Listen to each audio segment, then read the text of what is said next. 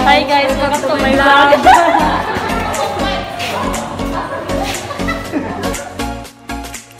Hello everyone and good day to us. For today's video, we're going to prepare some stuff here and we transfer these organic fertilizers to another container with my classmates and our very respectful and beautiful trainer, Ma'am Masil.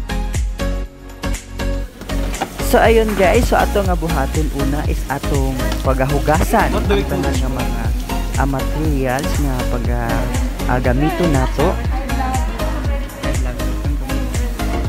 So morning mga classmates nako nga mga buutan, mga abdik ug matinabangon sa tanan nga mga buluhaton. So nakita ninyo nga uh, nag nanggisuot mi og mga hairnet na may mga gloves eh naapod may face mask o naapod may apron.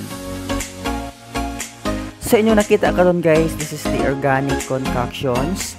So alang sa kasayuran sa tanan, concoctions means it is the replacement of chemical-based fertilizers, pesticides, fungicides, repellents, chemical-based growth enhancers, and other synthetic food ingredients for animals and plants. And it could be done through fermentation where the potency is enhanced by the beneficial microorganisms.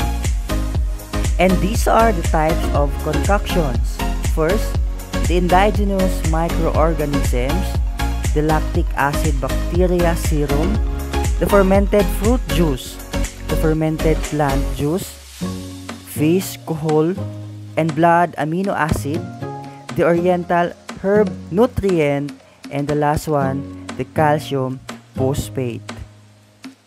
Then kay what naman dyan tay time, so I will tell you soon ang meaning aning mga uh, organic concoctions. Kung giunsa ni siya paghimo. And then, so thank you everyone sa pagtabang sa maong nga pag-transfer sa mga uh, organic na mga fertilizers. So sa tanan dai nga wala pa naka-subscribe sa mao nga YouTube channel, so paki-subscribe sa ato ang uh, YouTube channel so para daghan na putag uh, ma-post ng mga videos. God bless everyone.